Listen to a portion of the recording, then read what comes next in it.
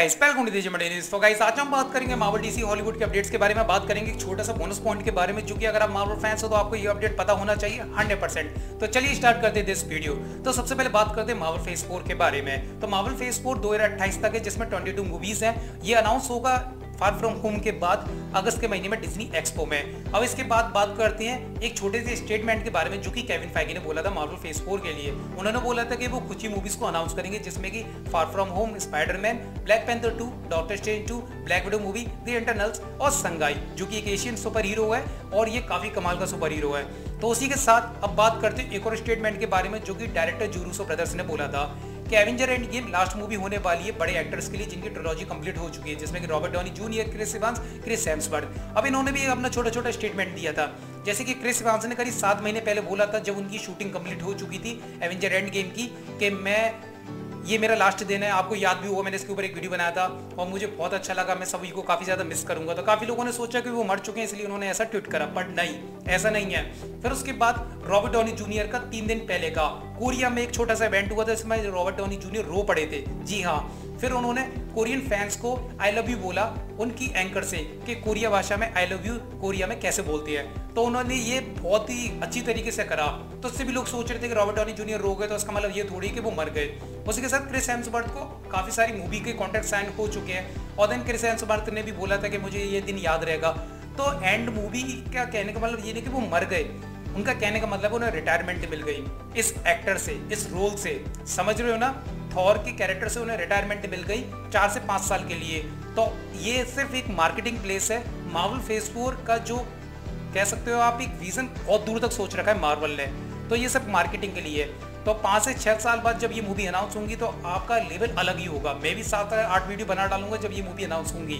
तो वेट करिए टेंशन मत लो एवेंजर एंड गेम बहुत अच्छी होने वाली है और ये बॉक्स ऑफ़िस पे धमाका मचाने वाली है। अब बात करते हैं थॉर फोर के बारे में। तो थेसा जो कि वेलकरी का रोल प्ले करती हैं, उन्होंने ये चीज़ खुद ही कंफर्म कर दी आज के दिन मॉर्निंग में कि मैं थॉर फोर में कंफर्म हो चुकी हूँ बट मुझे अभी तक ये कंफर्म नहीं हुआ है कि थॉर रेगनो के डायरेक्टर रिटर्न होंगे या नहीं। हंड्रेड परसेंट रिटर्न होंगे यार मूवी तीसरा पार्ट बहुत अच्छा गया था। और जैसे कि जेम्स गन को Garden the Galaxy volume three मिल गई, उन्हें पार्ट टू भी मिला था। तो ऐसे ही ताकि वादी को, ये मूवी मिलेगी थॉर फोर हंड्रेड परसेंट भले काफ़ी ज़्यादा लॉन्ग समय, चार से पाँच, छह साल मायने रखती हैं। और एवेंजर फाइव भी कंफर्म हो चुकी है सीक्रेट इन्वेंशन जो कि मैंने आपको पहले भी बताया था, आठ महीने पहले। तो अब बात करते हैं बोनस पॉइंट के बारे में, क्योंकि अब ये कुछ ज़्यादा लॉन्ग वीडियो हो जाएगी, वरना अब बात करते हैं बोनस पॉइंट के बारे में। तो फाइनली अलादीन का एक छोटा सा आर्ट रिलीज़ हुआ है, जिसमें कि जीनी और अलादीन एक साथ देखने को मिल रहे हैं। उसी के साथ एवेंजर एंड के दो पोस्टर लॉन्च करे गए हैं मावी स्टूडियो की तरफ़ से ऑफिशियली जो कि एक साथ हमें तीनों एक्टर्स दिखाई दे रहे हैं, जिसमें कि हमारे थॉर आयरन मैन और कैप्टन अमेरिका और उसी के साथ एक और पोस्टर लॉन्च हुई, जो कि काफ़ी कमाल का लग रहा है। तो ये मेन कास्ट है, जो कि इस पोस्टर में रिविल्ड करी गई है। और उसी के साथ डार्क फ्योन इसमें हमें मैग्नेटो का एक और लुक नज़र आया है, जो कि एम्पायर मैगजीन ने लॉन्च करा है। जैकी का फाइनली ट्रेलर लॉन्च हो चुका है, काफ़ी कमाल का उसका एक पोस्टर भी लॉन्च करा गया। हेटमैन द बॉडीगार्ड का वाइफ आप सभी को पता है, इस मूवी को ब्रैप कर दिया गया है। रियान ने ऑफिशियल ये मूवी अनाउंस करी और उन्होंने ऑफिशियली ब्रैप को भी अनाउंस करा गया ऑफ़ पेरी मूवी भी रैप हो चुकी है और ऑफिशियली ये लोगो उसका लॉन्च करा गया है, जो कि काफ़ी ज़्यादा अच्छा लग रहा है। और आपसे हाथ जोड़ के बेनती है, भाई, जिसने भी वो क्लिप देख ली है, उसे डिलीट मारे शेयर मत मारे। और डायरेक्टर जू रूसो ब्रदर ने एक छोटा सा स्टेटमेंट आर्टिकल लॉन्च करा है, जिसमें कि उन्होंने बोला कि don't spoil the Avenger Endgame इसके नाम से एक हैशटैग भी तो आप कमेंट सेक्शन में लिखो। Don't spoil the Avenger Endgame hashtag hashtag hashtag और एक छोटा सा बोनस पॉइंट अगर आप मार्वल फैंस हो तो केविन फाइकी ने अपने ऑफिशियली ऑफ़िस में मार्क वन को रखा है। जी हाँ वो मार्क वन जो कि आयरन मैन ने रॉबर्ट डॉनी जूनियर ने पहना था और उन्होंने वो मार्क वन को स्टूडियो से उठाकर अपने ऑफ़िस में रखा है। अगर कभी मौका मिला मावो स्टूडियो जो कि यूके में न्यूयॉर्क में है, आपको देखना चाहिए।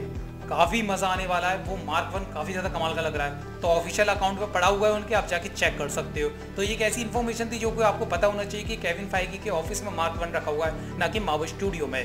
कैसा लगा अपडेट अगर आप ये वीडियो यूट्यूब पे देख रहे हो तो मेरे चैनल को सब्सक्राइब करें फेसबुक पे देख रहे पेज को लाइक करें। रियली में आपको ये वीडियो पसंद आता तो लाइक कमेंट शेयर करो। जो बंद इस वीडियो को नहीं देख रहे हो, या तो उस पर आयरन के हाथ मारो, या पैर मारो, पर और कुछ मत मानना। बाय जा रहा हूँ।